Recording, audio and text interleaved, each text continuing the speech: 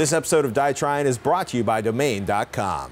Welcome to DIY Tryin'. The chat controls the world. I'm Patrick Norton. I'm Michael Hand. He's not kidding. No, not today. So, do you remember Twitch Plays Pokemon? Yes. It was this huge chat thing where hundreds or thousands of people were typing in chat commands to control an emulator that was streaming on Twitch. Which was really cool. Yeah, so that's not what we're doing today. No.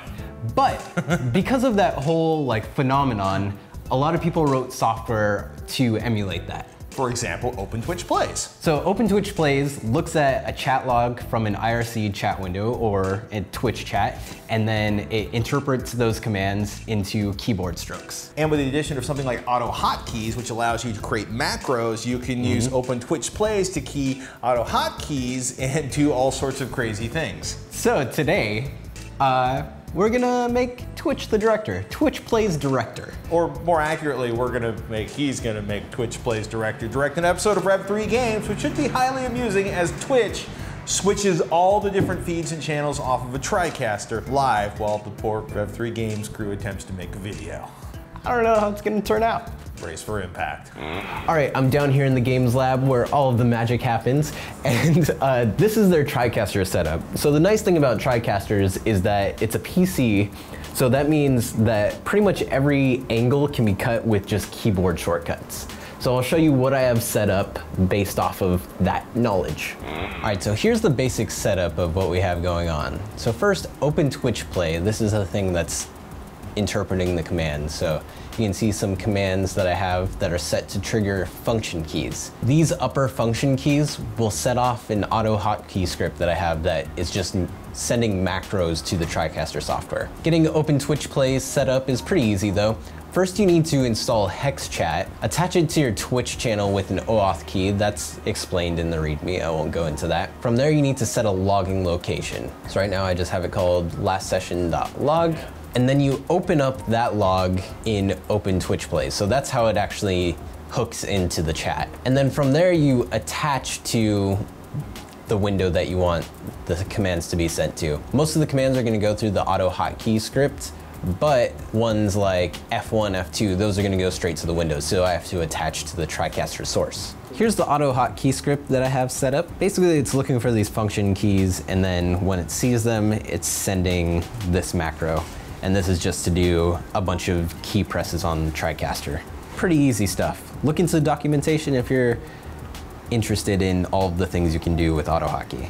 And that's pretty much it. From there, I can open up the TriCaster software and it'll gladly accept any commands that we send, switching between camera angles and through preview sources.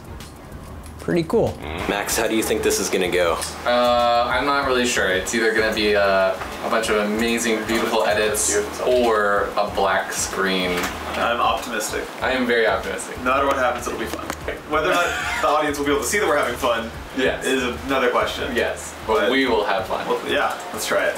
Hey, uh, Nick and Michael here. This week he's been setting up a new, uh, I don't even know what to call it, the ability to let the Twitch chat control the camera. Just- Twitch plays cameraman, I think Yes, is what Twitch we Plays. Cameraman is what we're choosing to call this. As of this moment, you will be able to control everything that happens.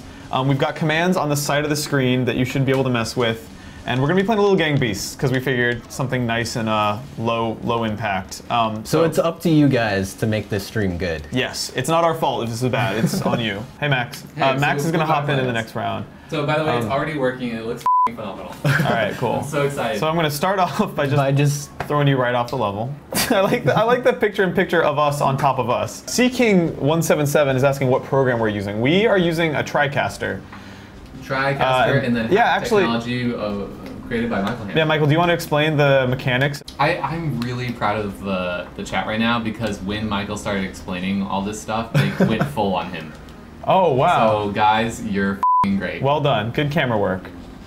This was just sort of a proof of concept. I don't know if they can see me right now. I'm pretty sure they can hear me. Hey guys, Uh, hey guys, cut full on uh, on Nick, Michael, and myself. oh, they're all trying though really hard to switch it to the camera, which is really sweet of them. it's probably there now. It's funny because they have to wait to hear us say that, which takes 30 seconds. Then they input the command, and then it shows up in 30 Anyways, They did it. um, thank you guys for joining us for this experiment. This was very much just like a proof of concept type thing. Now that we know that this works, we're gonna add a bunch more commands, uh, some secret, some not secret, and we're gonna have a full, elaborate lower third rig out uh, ready for you guys when we do this again on Tuesday.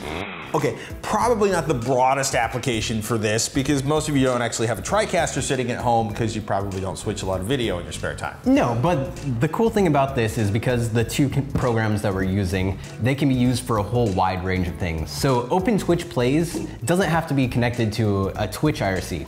You can connect that to any IRC that you want. Which means this is a wonderful time for you to go out to domain.com. They're sponsoring this episode. Biodomain, because the deals are great. And if you enter in TechSil when you check out, you get 20% off. They do web hosting too. Set up an IRC, because Open Twitch Plays will work with any IRC chat room, and have it start monitoring words or commands. Yeah, so you can do like a PHP module to embed that IRC, and then people can on your website send commands to control something on your computer. So between Open Twitch Plays, AutoHotkeys, and maybe throw an Arduino and a couple of switches into the mix, and you can probably control just about anything.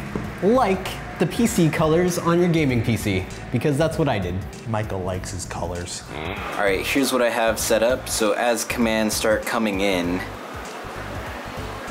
there we go, it starts to change. So I just have it set so that it turns on and off the RGB, but it could be set to send any sort of signal.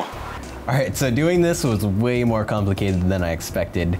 So I'm looking for the F4 key in this case, and then I'm sending all of these single serial commands through the Bluetooth interface to the PC. If anyone's interested in this, I just modified some existing scripts, but oh man, was this a pain to set up. Would not recommend using an Arduino with Windows. Do us a favor, subscribe, diytryin.com or youtube.com slash diytryin, where you can comment down below. And tweet at DIYTryin. Send Or- us pictures. Email diytryin at revision3.com. Share your builds with us, especially if you've been inspired to build something from this episode. I'm Badger Norton. I'm Michael Hand. We'll see you next week on DIY Trying. I don't know how it's gonna turn out. I don't know how it's gonna turn out. One more. I don't know how it's gonna turn out.